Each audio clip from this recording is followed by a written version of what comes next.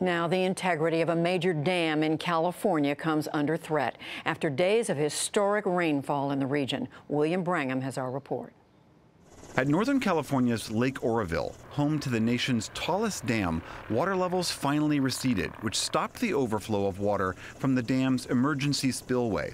This reduced the risk of the spillway's complete collapse, which would have triggered uncontrolled flooding and threatened tens of thousands of homes below. At a press conference, local officials couldn't answer why the system failed. I'm not sure anything went wrong. Um, I think, you know, it's a dam that that system's been installed uh, since uh, early 1960s.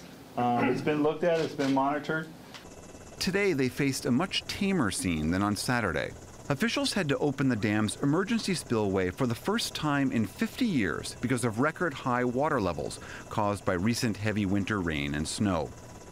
When water was drained from the dam's main spillway, the huge volume eroded chunks of concrete and dug a 30 foot deep hole at its base. It was then that officials opened the emergency spillway. When that water started eroding the earthen embankment, officials feared the wall would collapse altogether. And so on Sunday, authorities ordered the evacuation of nearly 200,000 people living below the lake. With little notice, residents were stuck in traffic for hours trying to leave. I panicked and just started putting things in my car. Uh, basically, my violin, a didgeridoo, some family photos, and uh, didn't grab enough clothes. I grabbed some wet laundry. Can you believe that? The Mercury News reports that officials ignored warnings about the fragility of the emergency spillway for years. Back in 2005, environmental groups warned officials that this other spillway, quote, did not meet modern safety standards. For now, officials hope to drain enough water from the reservoir to make room for the large storm that's expected on Wednesday. For more on the threat at the Oroville Dam, I'm joined now by Jeffrey Mount. He's a senior fellow with the Public Policy Institute of California Water Policy Center. His research focuses on water resources and flood management. Thank you very much for being here. Uh, so, Jeffrey, I understand that the, the, the, main threat seems to have receded slightly. I take it people are still evacuating as we speak. What was it that officials were worried was going to happen? Well, ultimately, what the big fear was that there would be an uncontrolled release from the reservoir. I think the, the worst nightmare of a reservoir engineer is to not be able to control the water uh, behind the reservoir. And the emergency spillway, had it failed and had it collapsed, would basically have lowered the lake level by almost 30 feet. And that's a tremendous amount of water in a short period of time, which would have resulted in catastrophic flooding downstream. So the basic issue here, obviously, as we reported, is too much rain, too much snow, which I know is a good thing in California normally. Yeah. But um, what is it with regards to the engineering that went wrong here? Well, so we have a couple of things. Uh, you have to remember that California reservoirs are under tension all the time. We use them to store water, and of course, we're just coming out of a record drought. Uh, we store water, but we also use them to regulate floods. So you have to set aside some space behind the reservoir. And in this case, there's not much space set behind this reservoir to catch floods. So it filled, and it filled pretty quickly. And then we had to run water down a spillway, and we were forced to allow water to go over an emergency spillway, which had never been tested since the Oroville was built in 1968.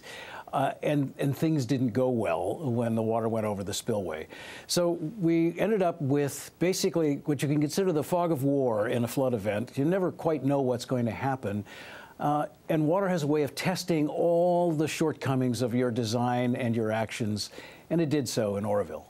So we, as we reported, there's a hole that was carved out of the main spillway and concrete was basically right. ripped apart by the volume of water. How are they addressing that issue now? Well, they're not addressing it now. They can't. They can't do anything about it because they're running 100,000 cubic feet per second of water down that spillway now. They will be able to address it this summer, uh, and uh, they don't know now what they're going to do about it, but they've lost almost half of that spillway. Just the power of water tore it to pieces and, and moved it on down into the river downstream. There's really nothing they can do today about that spillway. They have to use it. We mentioned that there had been some concerns raised about the earthen berm that, that is underneath the auxiliary spillway. Uh, why is it that that wasn't shored up? Did people just not see that this was going to be possibly an issue? No, I, am sure people thought it was an issue at the time.